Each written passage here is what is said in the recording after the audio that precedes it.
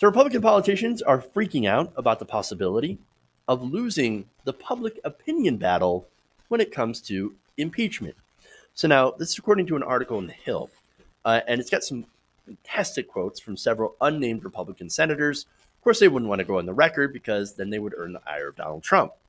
Uh, but these senators, because of how Donald Trump is handling impeachment by basically screaming onto Twitter, are not thrilled with him or, or his defense, to say the least. Now, let me give you these quotes. These are great. One Republican uh, senator, as he vented some of his frustration, said, quote, does he need to be so unhinged? He says the dumbest things. Mm. Mm. I love it. More. Uh, yes, this is the same congressman. Uh, there needs to be a coordinated response to everything. There needs to be a coordinated effort to just shut up, referring to Trump. Mm. I love this. Oh, taste the Schadenfreude. Uh, okay, anyway. So now Republican lawmakers have also been saying that Trump and his political team desperately need to overhaul their strategy to, quote, regain momentum and prevent their party from losing the White House and a number of congressional seats next fall. So make no mistake, what they are looking out for is their own political future. Or, when it sim- uh, quite simply, their power. They see Donald Trump and this impeachment as a way of them losing their power. So now, this is important, right? Because remember, these these are Republican lawmakers, mostly senators, right? We know, and they know, they're never going to vote to remove the president. Of course not. But they are afraid that impeachment will make Trump look so bad, and by extension, the Republican Party, that he will lose in 2020 and he will drag down the rest of the Republican Party with him. Uh, in fact, there are a number of vulnerable Senate GOP incumbents that were named in this article. Again, the Senate would actually vote to convict and remove the president. And so that's why there is specific focus on the Senate. And so they name uh, Susan Collins, Martha McSally, Cory Gardner, Joni Ernst, and Thom Tillis. Those are vulnerable Republican senators that they are worried about. And so they're desperately telling the White House, get a narrative and stick with it. And for God's sakes, rein in Donald Trump before he says something stupid. Er. And again, this has been the message coming out during all of Donald Trump's legal troubles.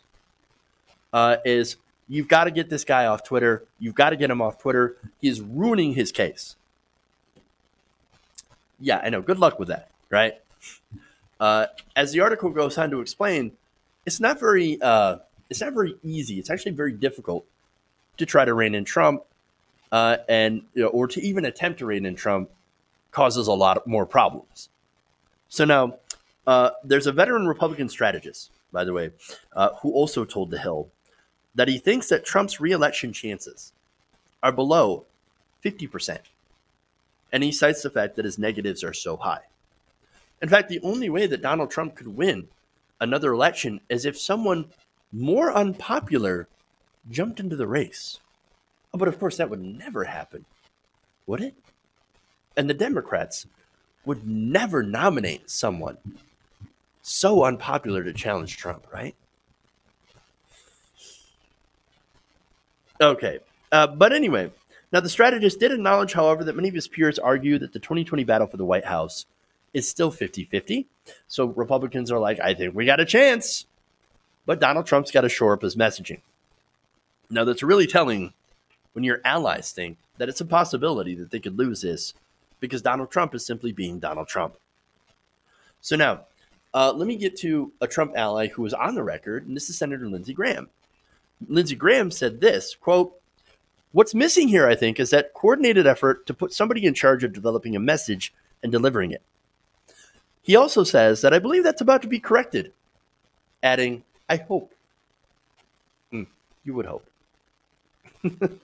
uh, so now, uh, Graham also admitted in an Axios on HBO interview that Trump had made some missteps, right? Specifically pointing out that uh, it was a bad idea to ask China to investigate the Bidens. He said it was, quote, stupid. True. Uh, now, other Trump allies say the president's frequent zigging and zagging makes it tough to defend him against Democratic attacks, even though they acknowledge that past efforts to tamp down on Trump's tweeting have proved to be unsuccessful. Quote, and this is Kevin Cramer, uh, the Republican on the record from North Dakota. He said, I think it could be helpful to have a more professional, coordinated communications effort. However, you have to be very careful not to prohibit Donald Trump from being Donald Trump. And that's the risk you run when you start institutionalizing these things. Cramer goes on to say that Trump's unpredictability makes it tough for GOP allies to defend the president. Quote, the reason it's difficult is sometimes he changes his midstream, and that's when it happens you find yourself out on a limb that has suddenly been cut off. The lack of that sort of institutional discipline does make it more difficult for the rest of us, if you will, as we're trying to carry his message. So now, first he says, and, and this is great.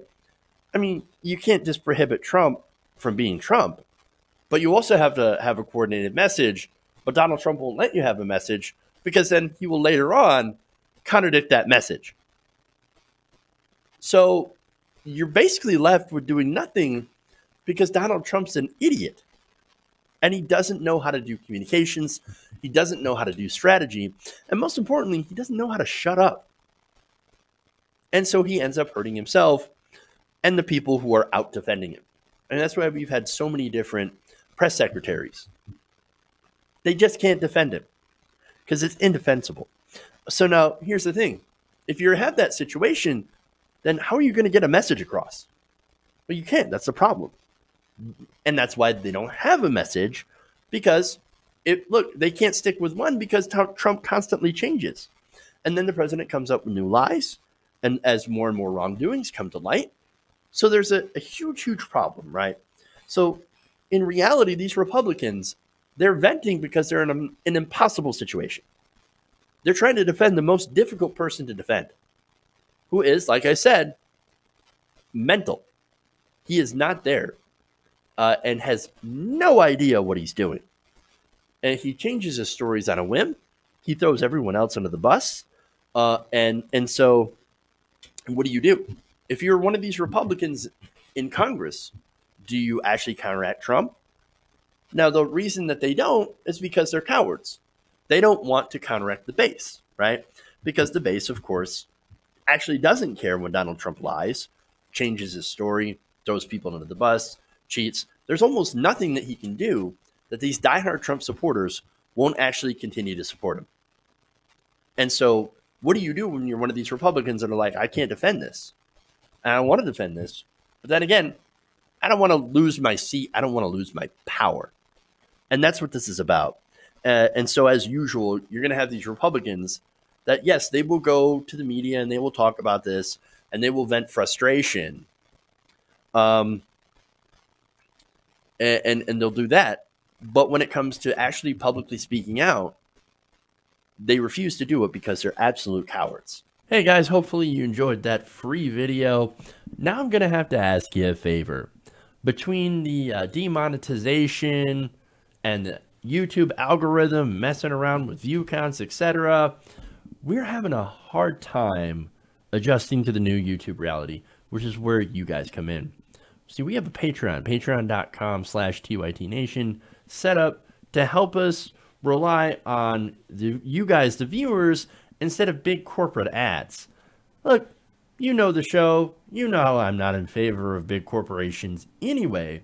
So help us transition away from relying on the ad model to pay the bills and sign up to be a patron, patreon.com slash tytnation. That goes a long way to help us keep the lights on, and you guys will know that you're supporting independent progressive media.